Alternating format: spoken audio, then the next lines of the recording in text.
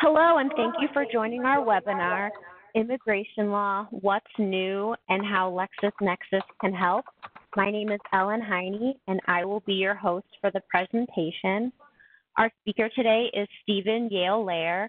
Steve is the professor of immigration law practice at Cornell Law School, the co-author of Immigration Law and Procedure, and a founding member of the Alliance for Business Immigration Lawyers.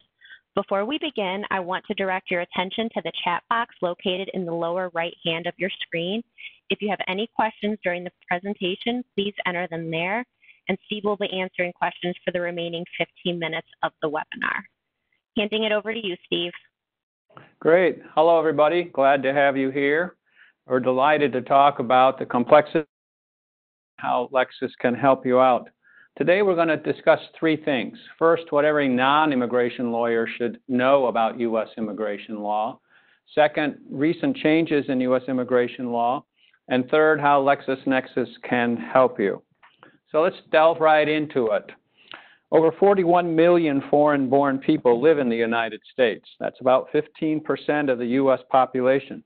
And no matter what kind of law you practice, you may represent someone who's not a U.S. citizen. Immigration law touches all aspects of law, including labor and employment law, family law, corporate law, mergers and acquisitions, criminal law, tax law, trust and estates, real estate law, litigation, and workers' compensation law. There is an awful lot of overlap between immigration law and other areas of law. Courts have said that immigration law is the second most complicated area of law right after tax law. But here we're going to try to help you out. If your client is not a U.S. citizen, then you probably want to contact an immigration lawyer for help or LexisNexis for doing your research.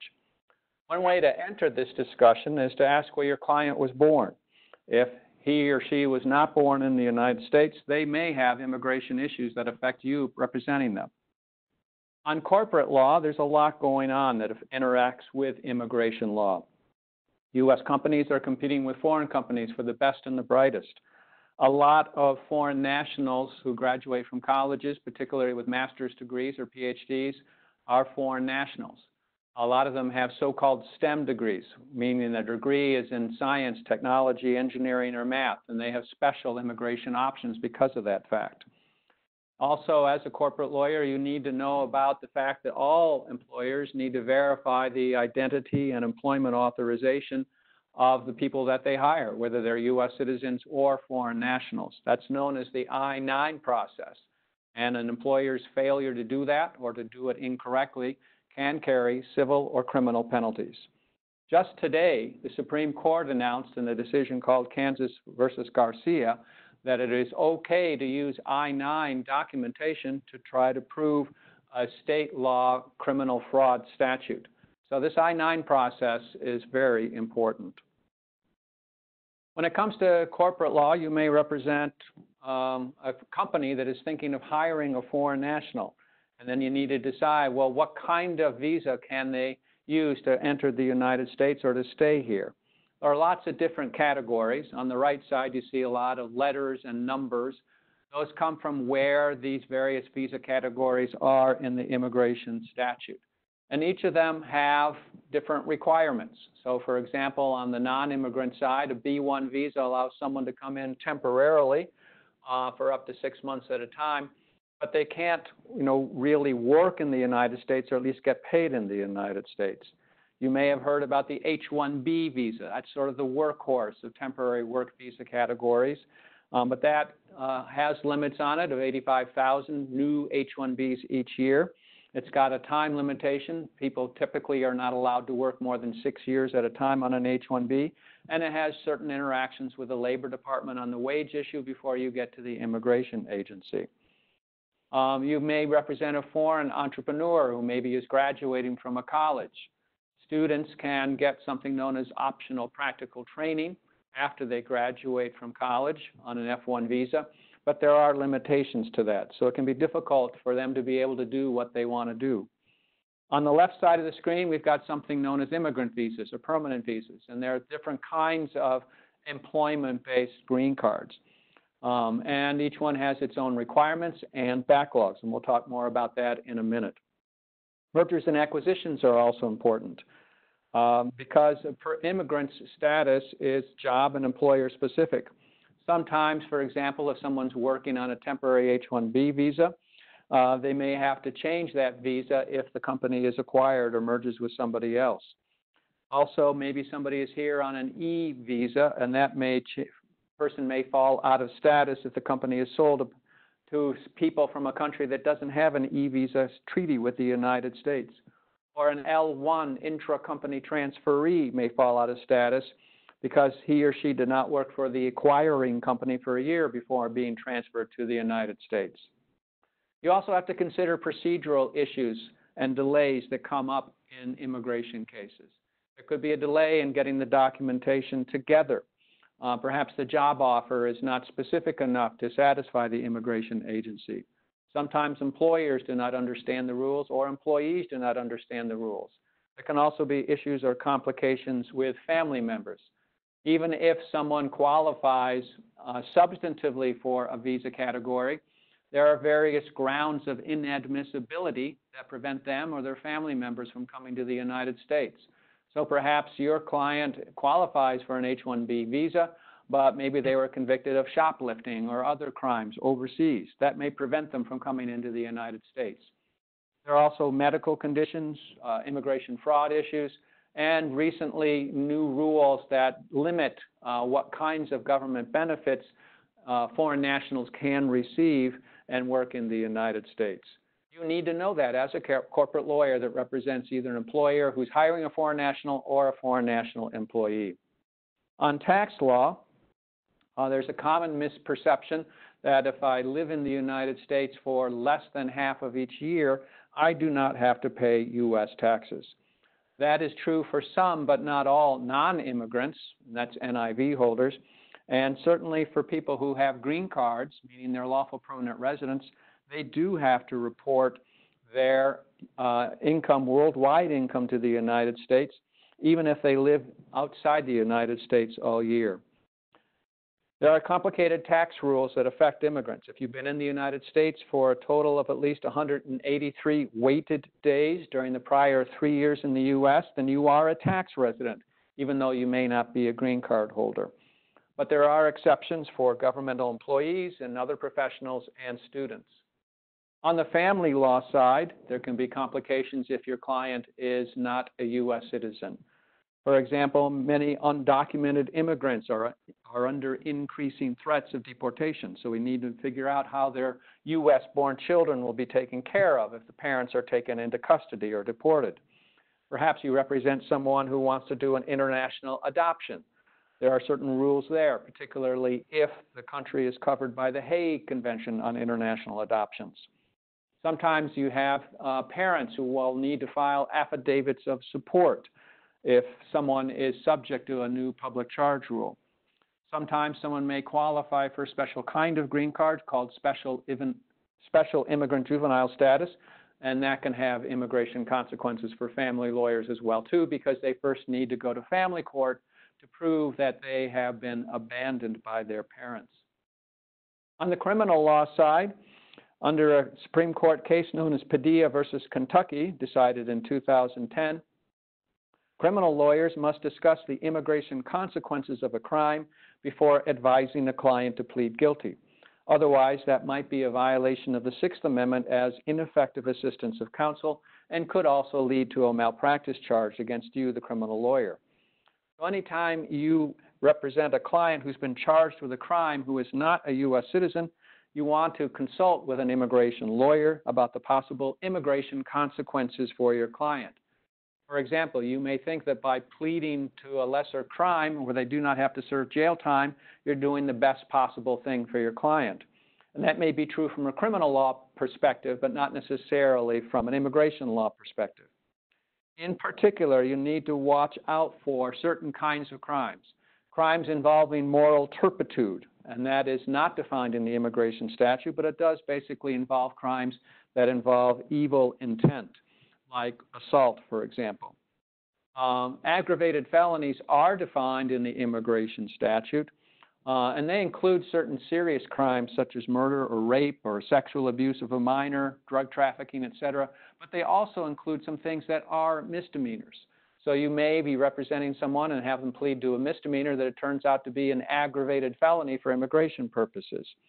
And certainly any crime that involves drugs or domestic violence may have immigration consequences as well. In the civil litigation context, um, sometimes there are issues that come up as to whether a person's immigration status is discoverable. Some courts will authorize the discovery of passport visa and past visas where the immigration status is important. Immigration status can also be a factor in calculating lost wages damages. Um, but many courts have said that in the workers' compensation area, at least, that lost wages are not limited by a person's immigration status. On the employment law side, generally, case law holds that employers' statements made in a visa petition or general claims to obtain a green card do not create an enforceable contract. But how do you make sure that is clear? You might recommend, if you represent an employer, that they have new employees sign a waiver form. Uh, that can reinforce the understanding that the employee's employment and compensation can be terminated with or without cause and without regard to their visa status. However, if a person is an H-1B worker, those rules require that the employer must agree to pay the reasonable cost of returning the employee to their home country. So you need to be careful in this area.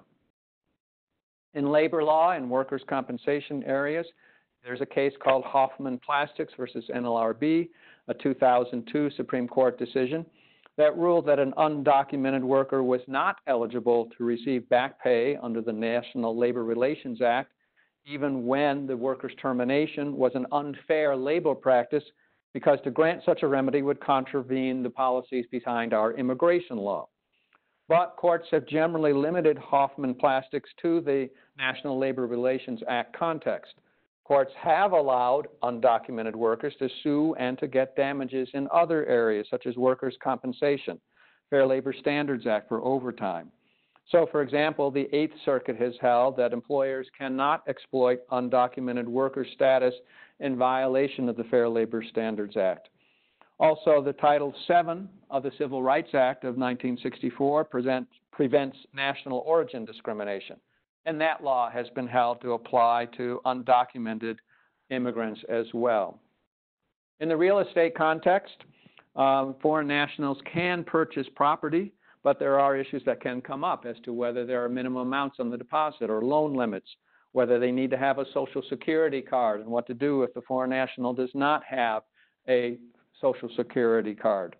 Sometimes banks will get confused between people who have visas and those who have status but do not have visas, such as Canadians. And that can cause problems in real estate transactions. In the trust and estate area, Foreign status doesn't necessarily exempt an individual from estate tax, but it can limit the marital deduction. The U.S. spouse, for example, may want to put assets into a qualifying domestic trust, a, a QDOT, whereas the foreign spouse may want to use a qualified terminal interest property trust or a QTIP. And there's more information on the slide here about trying to understand that difference. The bottom line, if you are not an immigration lawyer, is that if you are working with a foreign national or an employer that wants to hire a foreign national, you need to find out the foreign national's immigration status. If you are unclear uh, whether they are a U.S. citizen, ask them where they were born and what their status is. And if you are unclear whether their immigration status may impact what your client's trying to do, consult with an immigration lawyer or use LexisNexis to research the issue. Part two of the presentation, recent changes in U.S. immigration law.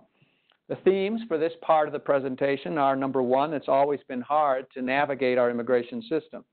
The United States has the largest and most complex immigration system in the world. But our immigration system is broken. But even though it is broken, some people do manage to immigrate legally. This administration has not persuaded Congress to build a physical wall along the U.S. Mexico border, but it has effectively created an invisible wall to restrict legal immigration. But Lexis can help you navigate the complexity of U.S. immigration law and recent changes. The U.S. immigration system is the largest immigration system in the world. 10 million people, more or less, enter the United States temporarily each year, whether it's to study, be a tourist, or to work in the United States. Another 500,000 to a million people a year get so-called green cards and therefore become immigrants. Generally, people who come into the United States often start non, as non-immigrants, coming temporarily, and that's the red screen there. Um, those people generally can stay only for a limited amount of time uh, and can work or not work depending on the categories. That's the starting point for a lot of people. Then, if they want to stay here permanently, they go to the gray, this, the black area called permanent residence, but it can be a long and difficult process. But once you become a permanent resident or a green card holder, you can live or work anywhere in the United States, but you cannot vote, and you can be deported if you uh, commit certain crimes or other infractions of our U.S. immigration system. Then, if you be, have a green card and want to become a naturalized U.S. citizen, you can do so by going through the naturalization process. Um, and that usually takes three to five years after someone gets a green card. Once you become a naturalized U.S. citizen, you can live or work anywhere, you can vote in U.S. elections, and you do not have to fear about being deported. But that does not cover everyone who's a foreign national. The gray area at the top of the screen are people who are here in some sort of either undocumented status or quasi-documented status called deferred action for childhood arrivals or temporary protected status. And about 10 million people in the United States have that kind of status. For non-immigrants, people coming temporarily, uh, I basically put them into three types of categories. Those that allow work, those that do not allow work, and those that are special cases. Again, these letters and numbers come from where they are in 8 U.S.C. section uh, 1101. And we immigration lawyers try to remember them. A1, for example, we call ambassadors because they're for diplomats. We go all the way down to V visas. I particularly like the S visa. I call that the sneaky snitch visa. Um, so some people who are here as non-immigrants can work. Others cannot work. Those who can work, again, typically can only work for a certain amount of time. Um, and some people, like the F1 students, can work on campus while they're going to school, can work off campus while they're uh, graduating, sorry, before they graduate during the summer, for example, and then can work for one to three years after they graduate, and that's where the employers come in. All immigrants or non-immigrants have to be screened before they come into the United States, and we've been doing that since the 1880s.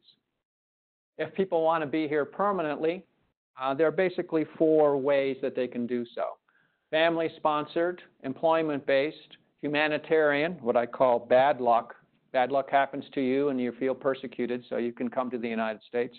Or diversity lottery, which is 50000 a year, which I call good luck. It's actually a lottery and allows people to come to the United States. These categories uh, include the family members. So we have 140,000 people a year who get employment-based green cards, but that is not 140,000 workers. That includes their family members as well too. These numbers and the percentages change a little bit from year to year, but overall, about two-thirds of all people immigrate to the United States based on family characteristics, about 15% based on employment, 15% based on humanitarian, and 5% for diversity. So you see that our immigration system is skewed toward family-based immigration. That makes sense because we do not want to break up families. Also, family members work, and employment-related immigrants bring their families. If you do get a green card, um, and this is what it looks like. It's actually not green anymore. It's turned out to be uh, white, but they are salmon colored with holograms and high-tech counterfeit resistance features, more counterfeit resistant than your driver's license. After someone becomes a green card holder, if they want to become a naturalized U.S. citizen, they have to wait another three to five years. And over 750,000 people a year go through the naturalization process. I just met someone from India. It took him 22 years from entering the United States as a student until he finally became a U.S. citizen. So patience is not just a virtue, it's a requirement in U.S. immigration law, even to do everything legally. So, so far this sounds fine, but there are long backlogs in the legal immigration system because of numerical limits on the number of people who can immigrate in most categories. So here we have the family-based green card categories. F1 refers to unmarried sons and daughters of U.S. citizens, that's 23,000. F2A is for spouses and children of green card holders. F2B are unmarried sons and daughters of green card holders. F3 is for married sons and daughters of U.S. citizens, and F4 are brothers and sisters of U.S. citizens. And that gets 65,000 just for that category alone. So 65,000 sounds like a lot of brothers and sisters, but because of backlogs that have developed over the years, it can be a long time. So for example, if you look at the bottom right corner of the chart for Philippines fourth preference, the backlog is December 1999. That means that a brother or sister of a U.S. citizen who is from the Philippines, who started the process 21 years ago, is now only able to finally immigrate to the United States. Some people complain about chain migration, but this shows chain migration doesn't really happen. We also have backlogs in the employment-based side. So if you're a doctor from India, for example, you may have to wait um, five years or longer to be able to get a green card. Our immigration system is made more complicated because we do not have one agency dealing with immigration. We have three branches of the Department of Homeland Security, plus the State Department, plus the Labor Department, plus the Department of Home HHS, Health and Human Services. And these different agencies don't necessarily talk with each other very well. So we have a broken system. Employers cannot hire the help that they want. For example, we have to have a lottery for the H-1B program because too many employers want to get, try to get access to the 85,000 new H-1Bs each year. In some industries, and, uh, employers cannot find enough U.S. workers. For example, over half of all farm workers in the United States are undocumented. They are at risk of getting picked up and put into deportation. We also have a broken immigration court system. We do not have enough immigration judges. It takes two years on average for an immigrant to have a hearing before an immigration judge. There are 460 immigration judges, but a backlog of over 1 million cases. So if you do the math, that's over 3,000 cases per judge, many of them doing, involving asylum, which involves uh, life or death consequences. Everyone knows that our immigration system is broken, but so far it's been impossible for Congress to fix the system. Congress came close in 2013 when the Senate passed a 1,200 page bill, but the House of Representatives failed to take up the bill. Now it's unlikely that we'll get any immigration legislation until after the presidential election. Because of Congress's inability to pass immigration reform legislation, President Obama used his administrative party powers in 2012 to start deferred action for childhood arrivals. The Trump administration wants to terminate the program, and the Supreme Court will decide by this June whether the current administration has the legal authority to terminate the DACA program. Over 700,000 people have DACA status, many of them working now for Fortune 500 companies. When this administration came in, they announced a whole series of recent immigration executive orders and announcements, and this is just some of them. Going into more detail on some of them, uh, increased enforcement at the border. Uh, the administration is trying to build a wall to stop people from entering the United States. They also expanded something known as expedited removal, so that people who have just entered the United States can be deported quickly. Just yesterday in the Supreme Court, the Supreme Court heard oral argument as to whether someone subject to expedited removal has a constitutional right to a habeas corpus proceeding and we'll hear the decision in that by the June uh, end of June this year. Interior enforcement. Before we used to prioritize going after criminal aliens. Under this administration, everyone is now a target for being picked up and being detained. Been a 41% increase in the number of undocumented immigrants who are now being arrested. We also have increased employer sanctions uh, for employers who are not going through the I 9 process correctly. There's triple the number of employer audits this year compared to prior administrations. This administration is also trying to terminate the Temporary Protected Status Program, known as TPS. And that's the program that allows the gov- U.S. government to designate foreign nationals in the United States to remain here safely during a temporary problem overseas, such as civil war, earthquake, or hurricane. And right now, the immigration uh, agency is trying to terminate TPS for five countries that affect over 320,000 people. Um, but that is also subject to litigation, and we'll see what happens in that. On the travel ban and refugee restrictions, uh, the Supreme Court upheld the third travel ban, and but um, it remains to be seen whether other travel bans, like one that was in, introduced on February of this year, uh, is going to be legal as well too. There have also been a number of asylum restrictions. Um, asylum is an international obligation, and it's also under our U.S. immigration law. It's always been difficult to win asylum, but this administration has issued new directives that make it more difficult for family members and victims of domestic violence and gang activity to win asylum. Many asylum applicants are forced to wait in Mexico for their immigration court hearings. And just last Friday in the Ninth Circuit, the Ninth Circuit ruled that this remain in Mexico policy is illegal. So we'll see what happens next. Family separation is another issue, um, and that's caused a lot of consternation and litigation. Public charge is a new one that's just come up. The concept of public charge has existed since the 1880s. It's been used to deny entry and green cards to those who primarily depend on government assistance to survive. Until this year, we basically limited the worries about public charge to people who received cash benefits.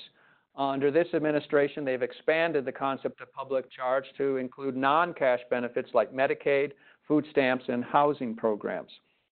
Um, and so that's now a new concern, and that was delayed until February 24th, but the Supreme Court let the rule go forward. So as of last week, everyone needs to worry about that as well too.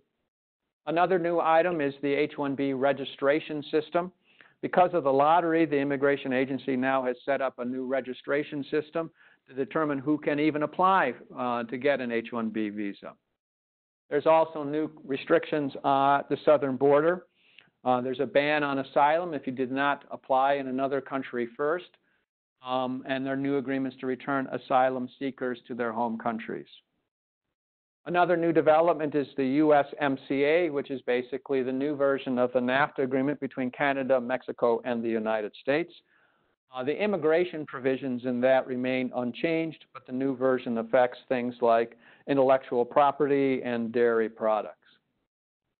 So there's certainly a lot of changes to immigration law. The question is, how can LexisNexis help you navigate this complexity? This slide shows you our Lexis Immigration Practice Center, where Lexis has put together all of the different kinds of immigration materials into one area to make it easy for you to find what you are looking for. There's certainly a lot to look at. Uh, there are the statutes relevant to U.S. immigration law that are codified in 8, 18, 22, 29, and 42 of the U.S. Code. There are the Code of Federal Regulations relevant to immigration. There are analytical treatises and guides like the Immigration Law and Procedure Treatise. There are forms at Lexis. There are immigration cases, both at the federal and agency levels. Federal Register materials. Uh, there are internal agency guidelines like the U.S. State Department Foreign Affairs Manual or the USCIS Policy Manual. Department of Labor Office of Foreign Labor Certification FAQs. There's human rights materials. There's immigration news sources.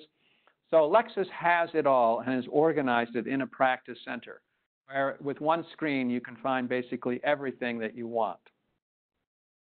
This is a picture of the treatise that I co-authored called Immigration Law and Procedure. Um, it basically is 21 volumes, and it is the most comprehensive treatise on U.S. immigration law. It's the most cited treatise by U.S. courts with citations in almost 500 U.S. court decisions, including 20 Supreme Court decisions, including the Padilla versus Kentucky case that I mentioned before. In addition to the treatise, There's also a lot of other fast-breaking development kinds of information on Lexis. So for example, Lexis has something called Bender's Immigration Bulletin that comes out twice a month that wraps up all the immigration news in two-week increments and is cross-referenced to the Immigration Law and Procedure Treatise. Lexis also has something called Bender's Immigration Regulation Service that's updated every month depending on regulations that come out. There's also Immig Bender's Immigration and Nationality Act service that's updated after every time that Congress passes something related to immigration as a statute. This is a picture of the Immigration Law Practice Expediter. This is something that Lexis has put together. It's a kind of practice guide roadmap that leads the user through immigration procedures in a step-by-step -step manner while providing links to the Immigration Law and Procedure Treatise, immigration statutes, regulations, forms, and other source materials. Using this expediter saves attorneys and paralegals times and assures users that no element in the research process will be overlooked. This is the screenshot of the practice expediter for H-1B petitions, but the expediter has a lot of other uh, practice areas too, and you see them down at the bottom of the screen in terms of family-sponsored visa petitions, uh, employment-based green cards, the PERM labor certification. There are about 20 different expediters, so they can really help a new person understand how to practice this area. Lexis also has a free daily immigration newsroom so that you can stay on top of daily immigration updates. Just type in your internet BIB, it stands for Bender's Immigration Bulletin Daily. So bibdaily.com and it'll take you to this screen where you can sign up to get notified via email, uh, either daily or weekly, about all the recent immigration law statuses. So anytime anything happens on the courts or in the news or regulations or statutes, it's right here first on bibdaily.com, which is a free service from Lexis. Lexis also has free YouTube training to learn how to research immigration law more effectively.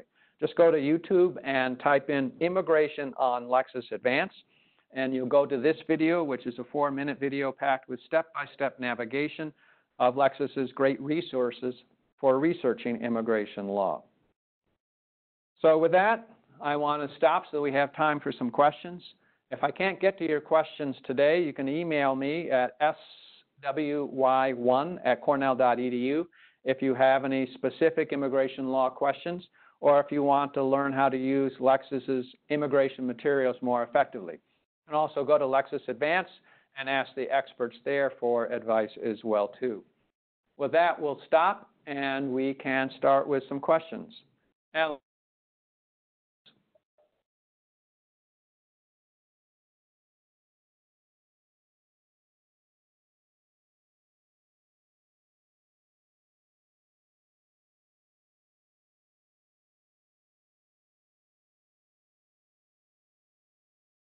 is not from one of the countries. Um, let me go back to that slide and show you. There we go. Um, so this is from something called the State Department's Visa Bulletin, and they come out every month with questions, uh, with status of how long it takes to get a certain kind of green card. On the left is the categories. There are five different types of employment-based green card categories. EB1 uh, is for people who have extraordinary ability or multinational um, executives or managers or outstanding professors and researchers. And you'll see that their first column next to that is all chargeability areas except those listed um, and then we have uh, more backlogs for certain countries, China, El Salvador, Guatemala, Honduras, India, Mexico, and the Philippines. So the question is, what is the backlog for EB2 um, if the immigrant is not from one of the specified countries? So for EB2, we see that it's the, the answer is C, which means current, which means it is not backlogged.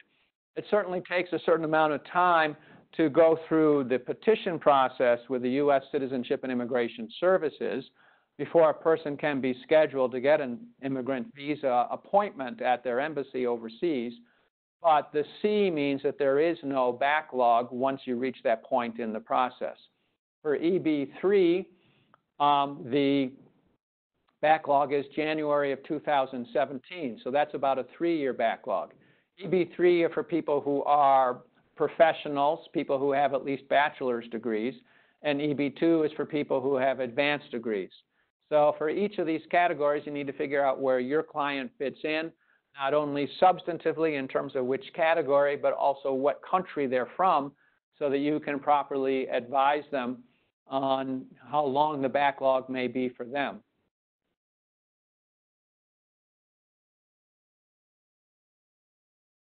Another question that came in is, um, how do I keep up to date with all the recent immigration developments? Well, there are a lot of different ways. You can certainly um, do a Google alert on immigration. But going back to this one slide for BIB uh, daily, um, this one uh, is an email that goes about uh, goes out about three o'clock Eastern time each day with all of the 24 hours news about immigration law. It's a great resource. It has things that you would expect to be there, like Supreme Court decisions, but it also has commentary. Um, it has unpublished decisions by immigration judges and the Board of Immigration Appeals. It has analysis by experts um, and you can either browse what's on there or you can do a search. And so I often uh, will look for unpublished decisions on this resource because it often is not uh, something you cannot find anywhere else. Somebody asked about H-1B registration. Let me go back to that slide and back up.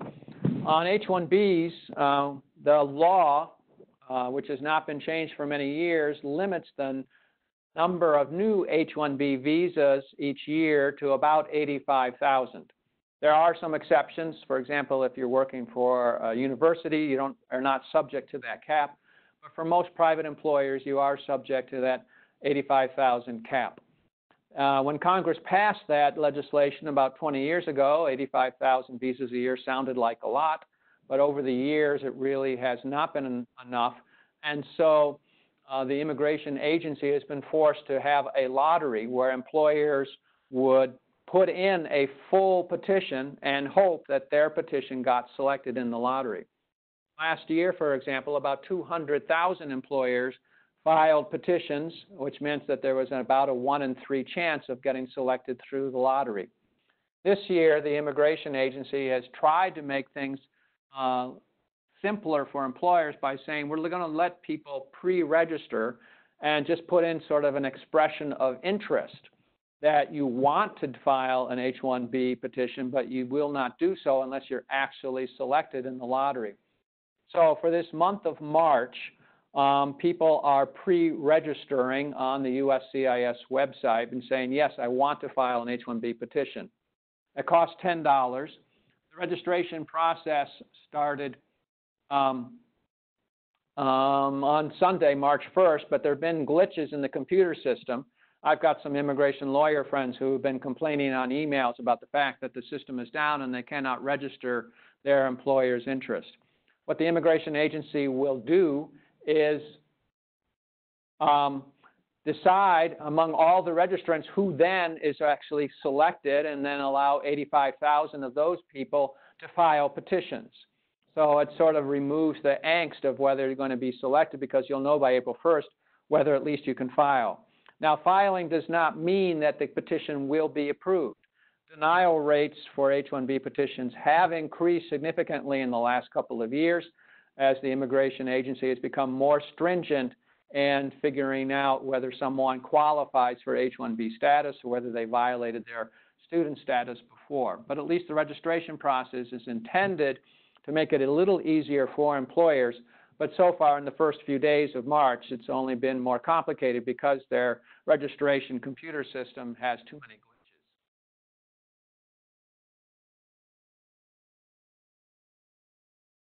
Another question that has come in concerns, um, you know, what if I want to do a pro bono case for an immigrant? How can I learn how to do that. And there are a variety of ways. Um, I would check first with the Bar Association in your particular city or state. Many times, uh, bar associations have immigration sections, and they'll put on seminars about training people how to take on pro bono cases. In some big cities, um, like Washington or New York or Los Angeles, um, you have either bar associations or human rights groups that will train lawyers on how to do pro bono asylum cases or deportation proceedings. In New York City, for example, Human Rights First has an excellent training program where they train lawyers at big law firms how to do pro bono asylum cases. The American Immigration Lawyers Association works with the American Immigration Council as well too to uh, identify compelling cases and then provides mentorship for people who are not familiar with immigration law to be able to take on those cases. Um, so the variety of ways that uh, people can take on a pro bono case even if they are not an immigration lawyer. Many people find immigration to be very rewarding because you're helping a child or an immigrant who's fleeing persecution to be able to stay in the United States. And many times these people uh, don't have access to a lawyer, so someone who can represent them pro bono makes a huge difference. For example, there's an organization called KIND, Kids in Need of Defense. And if you go to kindsupport.org, I think is the URL, uh, they pair immigration lawyers at big law firms with training mechanisms so that they can take on particularly challenging cases, such as representing children uh, in immigration proceedings.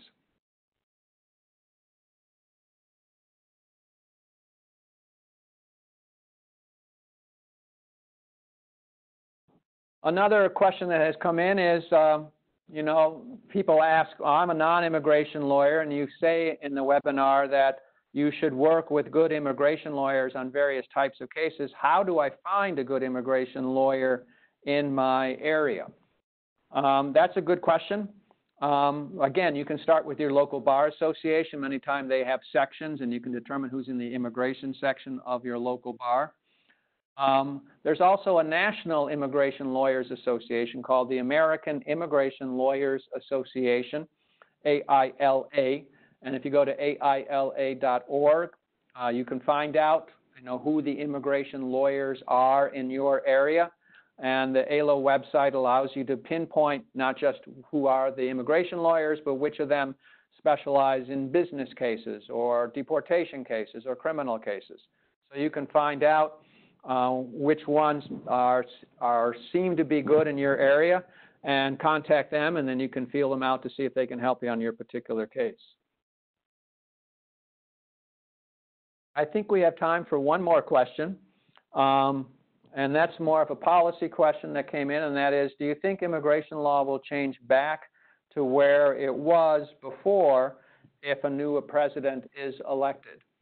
And the answer to that is no. Um, I think that this administration has made immigration law even more complex than it used to be.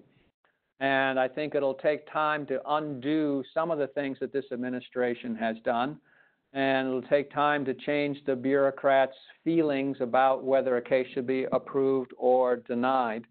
So I think we're in for a long haul, even if we do get a new president, about the complexity of immigration law. The good part about that is that Lexis is dedicated to providing a lot of resources to people to be able to allow them to both understand and, if want to be, to practice immigration law and so, again, if you have any questions, contact Lexis um, or contact me at swy1 at cornell.edu. With that, we're at the end at 245, and I thank you very much for your time today.